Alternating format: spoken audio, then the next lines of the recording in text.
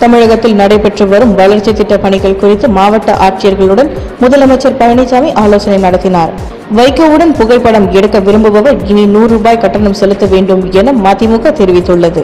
அத்திவரதர் வைபவ பாதுகாப்பு பணியில் ஈடுபட்டு வந்த கோவை சிறப்பு எஸ்ஐ உடல்நல பாதிப்பினால் உயிரிழந்தார். தமிழகம் புதுச்சேரியில் மூன்று நாட்களுக்கு கனமழை முதல் மிக கனமழை பெய்ய வாய்ப்புள்ளது என இந்திய வானிலை ஆய்வு மையம் எச்சரிக்கை விடுத்துள்ளது. காஞ்சிபுரம் வரதராஜ பெருமாள் கோவிலில் முப்பத்தி ஒன்பதாவது நாளான இன்று அத்திவரதர் வைபவத்தில் விஐபி விவிஐபி தரிசனம் ரத்து செய்யப்பட்டுள்ளது. சென்னையில் பெட்ரோல் விலை ஐந்து காசுகள் குறைந்து ரூபாய் எழுபத்தைந்து புள்ளி மூன்றுக்கு விற்பனை செய்யப்படுகிறது. கோவையில் மழை காரணமாக ரயில் நிலையத்தில் உள்ள பார்சல் அலுவலகத்தின் மேற்கூரையும் சுவரம் இடிந்து விழுந்ததில் இரண்டு பேர் உயிரிழந்தனர். அனைத்து ஏழை தொழிலாளர் குடும்பத்திற்கும் கணக்கெடுப்பு பணி நிறைவடைந்ததும் அரசு ரூபாய் இரண்டாயிரம் வழங்கும் என முதலமைச்சர் எடப்பாடி பழனிசாமி பேசினார். மேகதாதுவில் அணை கட்ட கர்நாடகத்துக்கு சுற்றுச்சூழல் அமைச்சகம் அனுமதி மறுத்துள்ளது. எடப்பாடி பழனிசாமியின் முயற்சிக்கு வெற்றி. பாஜக ஆட்சியில் சமூக நீதிக்கும் மாநில சுயேட்சைக்கும் அச்சுறுத்தல் ஏற்பட்டுள்ளது என்றும் தேசபக்தி என்ற பெயரில் பாஜக மதவெறியை தூண்டுகிறது என்றும் மு ஸ்டாலின் பேசினார். பாசிசத்துக்கு எதிராக போராடுவோம் என்றும் தமிழ் மண்ணையும் வங்காள மண்ணையும் தியாகம் செய்ய முடியாது என்றும் சென்னையில் நடந்த பொதுக்கூட்டத்தில் மம்தா பானர்ஜி பேசினார்.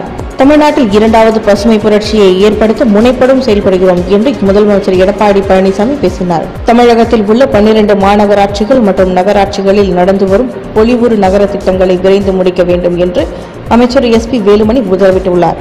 வருமானத்துக்கு அதிகமாக சொத்து சேர்த்ததாக எழுந்த புகாரின் பேரில் விழுப்புரம் ஊராட்சி வளர்ச்சி அதிகாரிகள் வீட்டில் லஞ்ச ஒழிப்பு போலீசார் அதிரடி சோதனை நடத்தினர். அனுமதி இல்லாமல் சட்டவிரோதமாக பேனர்களை வைக்கக்கூடாது என்று தொண்டர்களுக்கு அறிவுரை வழங்கும்படி அரசியல் கட்சித் தலைவர்களுக்கு ஹைகோர்ட் உத்தரவிட்டுள்ளது.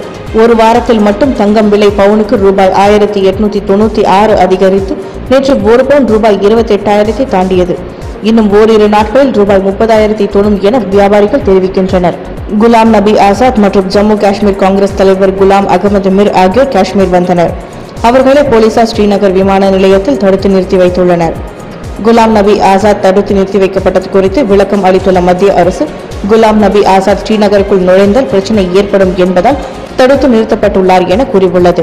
ஆந்திர மாநிலம் விஜயவாடாவில் போராட்டத்தில் ஈடுபட்ட பயிற்சி மருத்துவர் ஒருவரை காவல்துறை அதிகாரி கன்னத்தில் அறைந்ததால் பதற்றம் ஏற்பட்டுள்ளது. டெல்லியில் காவிரி நதிநீர் ஒழுங்காற்று குழு கூட்டம் நடைபெற்றது. கூட்டத்தில் தமிழகம் கர்நாடகா கேரளா புதுச்சேரி ஆகிய மாநிலங்களிலிருந்து பிரதிநிதிகள் பங்கேற்றுள்ளனர். வங்கி மேலாளர் என்று கூறி பஞ்சாப் முதலமைச்சர் மனைவியிடம் செல்போனில் பேசி வங்கி கணக்கு எண் ATM PIN CVC OTP number உள்ளிட்டவற்றை பெற்று இருபத்தி மூன்று லட்சம் மோசடி செய்த நபர் கைது செய்யப்பட்டுள்ளார். இந்திய தூதரை பாகிஸ்தான் திருப்பி அனுப்பிய விவகாரத்தில் பாகிஸ்தான் எடுத்துள்ள அவசர நடவடிக்கைகளை மாற்றிக்கொள்ள வேண்டும் என்று இந்திய வெளியுறவுத்துறை அமைச்சகம் பதிலடி கொடுத்துள்ளது. காஷ்மீரில் சிறப்பு அந்தஸ்து வழங்கும் முன்னூற்றி எழுபது சட்டப்பிரிவு நீக்கத்திற்கு எதிரான வழக்கு அவசரமாக விசாரணைக்கு எடுத்துக்கொள்ள சுப்ரீம் கோர்ட் மறுத்துவிட்டது. காஷ்மீர் மாநிலம் இரண்டு யூனியன் பிரதேசங்களாக பிரிக்கப்படும் என மத்திய அரசு திங்கட்கிழமை அறிவித்தது. இந்நிலையில் அம்மாநிலத்தின் வங்கியான ஜம்மு காஷ்மீர் வங்கி மத்திய அரசின் கட்டுப்பாட்டின் கீழ் வரவுள்ளது. அபிநந்தன் வர்தமான் மற்றும் ஐந்து பாலக்கோட் விமானிகளுக்கு ராணுவத்தின் மிக உயர்ந்த விருது வழங்கப்படுகிறது. விஜயின் பிகில் படத்திற்கு பிறகு மாநகரம் படத்தை எடுத்து பிரபலமான லோகேஷ் கனகராஜ் இயக்கும் படத்தில் விஜய் நடிக்கிறார். இது விஜய்க்கு அறுபத்தி நான்காம் படமாகும். படத்தின் ஆரம்ப கட்ட பணிகள் தொடங்கியுள்ளன இதில் கதாநாயகிகளாக ராக்ஷி கண்ணா ராஷ்மிகா மந்தனா நடிப்பதாக பேசப்பட்டுள்ளது. மீண்டும் போனி கபூர் தயாரிக்கும் படத்தில் அஜித் குமார். நேர்கொண்ட பார்வை படத்திற்கு பிறகு அஜித்குமார் மீண்டும் போனி கபூர் தயாரிக்கும் படத்தில் நடிக்கிறார். வினோத் இயக்குகிறார். இந்த தகவலை போனி கபூர் சில தினங்களுக்கு முன்பு ட்விட்டர் பக்கத்தில் தெரிவித்திருக்கிறார்.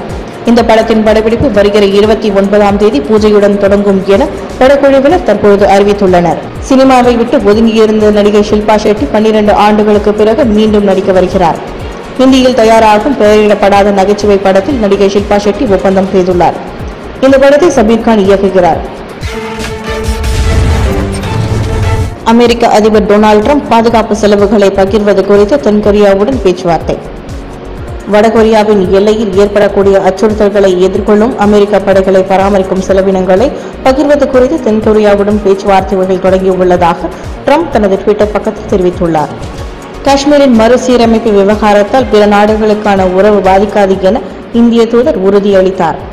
அமெரிக்காவுக்கான இந்திய தூதர் ஹர்ஷவர்தன் சிரிங்ல வாஷிங்டனில் ஒரு நிகழ்ச்சியில் பங்கேற்றார். அப்போது அவர் பேசுகையில் காஷ்மீர் மாநிலம் மறுசீரமைக்கப்பட்ட பிரச்சனை இந்தியாவின் உள் விவகாரம். நல்ல நிர்வாகத்தை நோக்கமாக கொண்ட நிர்வாகத்து ரீதியான முடிவு. இதன் காரணமாக எல்லை கட்டுப்பாட்டு கோட்டுக்கோ இல்லை சர்வதேச எல்லைக்கோ எந்த பாதிப்பும் ஏற்படாது. பிற நாடுகளுடனான உறவிலும் எந்த பாதிப்பும் ஏற்படாது என்று அவர் கூறினார்.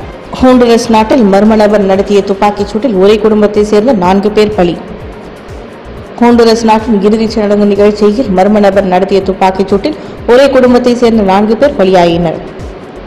ஹோண்டரஸ் நாட்டின் சான் பெடரோ சுலா நகரில் நடந்த இறுதிச் சடங்கு நிகழ்ச்சியில் மர்ம நபர் நடத்திய துப்பாக்கிச்சூட்டில் ஒரே குடும்பத்தைச் சேர்ந்த நான்கு பேர் பலியாகியுள்ளனர். பயங்கரவாதிகளுக்கு நிதி அளிக்கும் நாடுகளின் பட்டியலில் இருந்து தங்களை விடுவிக்க வேண்டும் என அமெரிக்காவை சூடான் வலியுறுத்தியுள்ளது. இலக்கியத்துக்கான நோபல் பரிசு பெற்ற உலக புகழ்பெற்ற எழுத்தாளர் டோனி மாரிசன் காலமானார். இலக்கியத்துக்கான நோபல் பரிசை பெற்ற முதல் கருப்பின பெண் என்ற பெருமைக்குரியவரும் உலக புகழ்பெற்ற எழுத்தாளருமான டோனி மாரிசன் உடல் நலக்குறைவால் காலமானார். அவருக்கு வயது எண்பத்தி எட்டு. ஆப்பிரிக்க அமெரிக்கரான அவர் தன்னுடைய நாற்பதாவது வயலில் தி ப்ளூஸ்ட் என்ற பெயரை முதலாவிலே வெளியிட்டார்.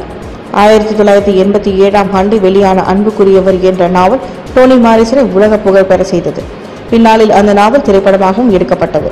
ஜனாதிபதி தேர்தலில் எனது வெற்றியை தடுக்க கூகுள் திட்டம் ட்ரம்ப் குற்றச்சாட்டு.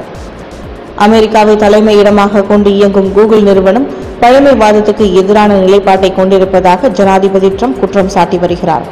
ஆப்கானிஸ்தானில் இன்று கடுமையான நிலநடுக்கம் ஏற்பட்டுள்ளது. ஆப்கானிஸ்தானின் இந்து குஷ் பகுதியில் இன்று காலை ஆறேகால் மணியளவில் கடுமையான நிலநடுக்கம் ஏற்பட்டுள்ளது. இது ரிக்டர் அளவுகோலில் ஐந்து புள்ளி எட்டாக பதிவாகியுள்ளது என அமெரிக்க புவியியல் ஆய்வு மையம் தெரிவித்துள்ளது. இதனால் ஏற்பட்ட சேத விவரங்கள் பற்றி இன்னும் உடனடியாக தகவல்கள் வெளியாகவில்லை. காஷ்மீருக்கான சிறப்பு அந்தஸ்தை ரத்து செய்வது குறித்து இந்தியா எங்களிடம் தகவல் தெரிவிக்கவில்லை என அமெரிக்க வெளியுறவுத்துறை கூறியுள்ளது.